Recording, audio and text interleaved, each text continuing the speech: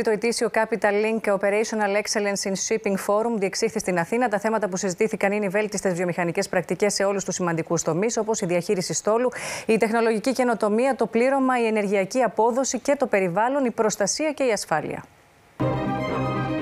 Τέσσερις προκλήσεις αντιμετωπίζει η παγκόσμια και η ελληνική ναυτιλία, σύμφωνα με όσα ανέφερε ο Υπουργός Ναυτιλίας Χρήστος Ηλιανίδης από το βήμα του συνεδρίου. Allow me to focus on four key themes.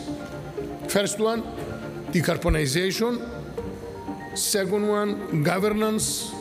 Third one, finance. And fourth, geopolitical developments. Ο Διευθύνων Σύμβουλο τη Capital Product Partners μαζί με τον Νικόλα Μπορνόζη, πρόεδρο τη Capital Link, απέντημαν το βραβείο Capital Link Maritime Sustainability για το 2023 στον επικεφαλής του τμήματος απανθρακοποίησης της Τραφιγκούρα.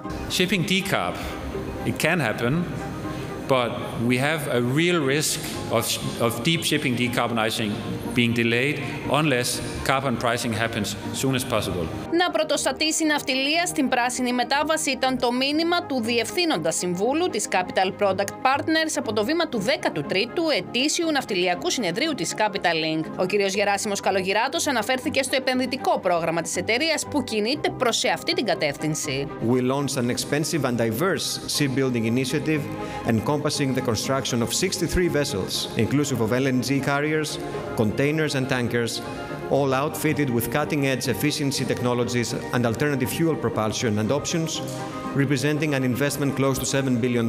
Το ανθρώπινο στοιχείο, την περιβαλλοντική συνείδηση και την ασφάλεια χαρακτήρισε ως ακρογωνιαίους λήθους της αηφορίας και της ποιοτικής ναυτιλίας η πρόεδρος της Χελμέπα σε μοίρα Μισπαλίου.